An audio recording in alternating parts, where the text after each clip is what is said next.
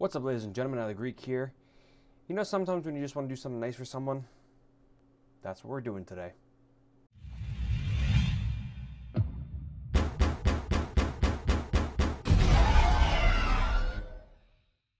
Today, we are building a computer for my sister.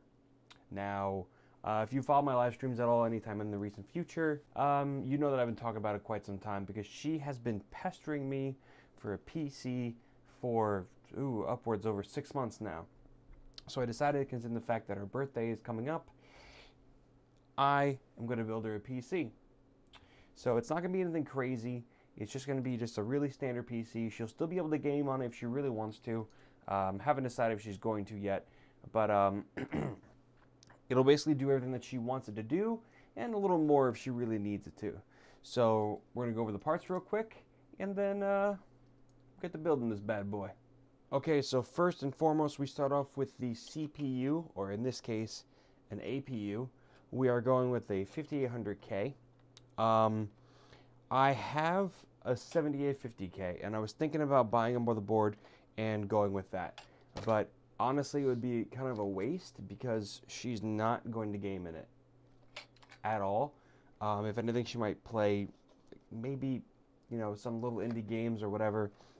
If she decides to get a Steam library, then might then she might play. But an APU will be more than enough for her, um, because anything else would honestly be overkill. So we go from the CPU to the motherboard.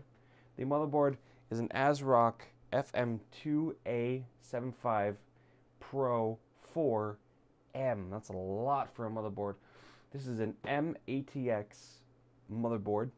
Has everything she needs, nothing that she doesn't need, and uh, it's just it's perfect for what she's going to use it for. So, along with the motherboard, we have the RAM. I have Kingston HyperX Black RAM. This is RAM that was in my previous system. Now we get to the storage solutions of the PC. For solid state drive, we have a Kingston uh, SSD now 300. So there you go. S yeah, it's a 240 gig SSD, and uh, it's not the fastest SSD, but it is plenty fast for for her. You know, so it's it'll be instant boot times, really nice. And for mass storage, we have a Western Digital Caviar Blue. I'm just trying to make it so there's no glare so you guys can see it. There you go.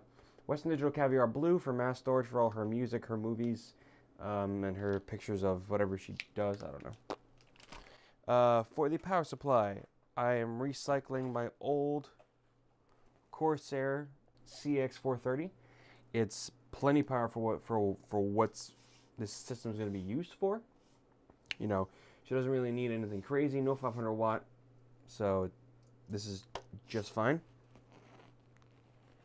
And um, we get into peripherals. For peripherals, I got her a an MX510 from Logitech. It's a wireless mouse because she doesn't really have a desk, so this is going to be on her dresser, and uh, all her stuff, her keyboard, and everything that's going to be around somewhere else. So she won. She won a wireless too. So it's a really cool mouse because uh, the battery life is two years on one battery, and that is pretty awesome. I'm actually pretty looking forward to seeing how this this works. So, and we move on to I just got her a uh, simple wireless adapter to hook into the Wi-Fi uh, because getting her like an actual modem and all that stuff would be a little too too expensive for right now. So that and the one thing that I'm most jealous about is this right here. We have a Logitech K750 wireless solar powered keyboard. Now the reason I'm on, I'm jealous about this keyboard is because this keyboard it's solar powered, fine, but not only will it be powered by the sun, it can be powered by the light shining off of your TV, the light in your room, um, basically any light source that is around will charge this thing. And that is awesome. Absolutely awesome. And I am incredibly jealous because I would love for one of these. maybe when I uh, actually build an HTPC, um, this is what it'll be. Maybe I can use this for for that. But uh, but yeah, so that's it with the parts and all that stuff. It's nothing crazy. She doesn't really need anything insanely powerful. Um, like I said, I really don't think she's gonna be doing any gaming on it. She just wants it because because her laptop is extremely slow, and this will be a very big upgrade for her. Oh, and I forgot to mention. Well, one more thing. Uh, the case that it's going in. I completely forgot. The case that is going in is, is going to be the Fractal 804. It's kind of a big case for what she wants, but if she ever wants, uh, you know, if she needs a graphics card later on, she can put a graphics card in it. More storage, she can do that. There's upgradability. Um, and I have some fun that I'm going to do with this case later on. Not now. I'm, I'm planning on painting this case for her. So, not now, but later on in the future, I'll be painting that for her. And uh, before we get into the build, I need, to say, I need to say a special thank you to a couple people. Um, the case was provided by Fractal Design, so Josh, thank you, you creeper, you. Um, so thank you for that. The CPU and motherboard were provided by Cell Processing, and uh, and the SSD and the hard drive were uh, provided by uh, East Coast Mods and the Frumpy Turtle. So I'm going to put all those links to all those wonderful people down below in the description.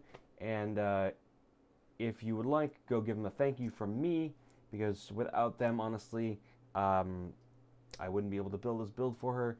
Uh, they're very generous people. They heard what I wanted to do and they just, uh, you know, uh, Turtle and East Coast Mods came through in the clutch, which is awesome. So thank you guys for that. And uh, yeah, enough of me talking, blah, blah, blah, blah, blah let's get into this build.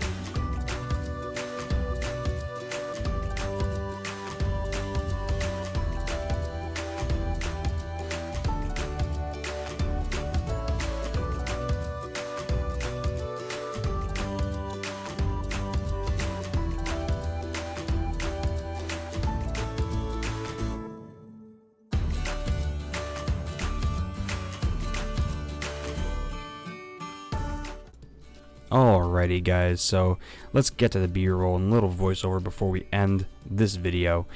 As you can see the interior of the PC, I added a 5-port USB card. Um, I know that she's going to use it because she can add many things to the back because there's not that many USB ports on here. So that's going to be nice to help her out. Um, the SSD, obviously you don't see it in here, but it's behind the front plate of the Node 804, which is which is a really nice feature. Um, the cable management wasn't that difficult.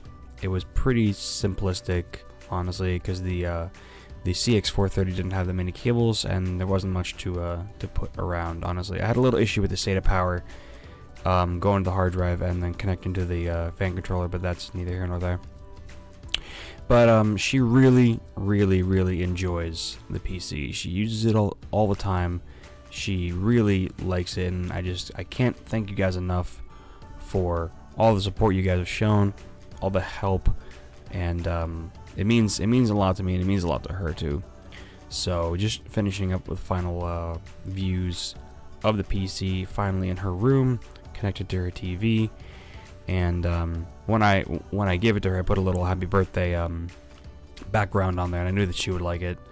So you can see all her books and stuff there. So she really liked it, like I said before, and I really can't thank you enough. So if you guys enjoyed this video, don't forget to leave a like and a comment, and I will see you guys in the next one. Bye.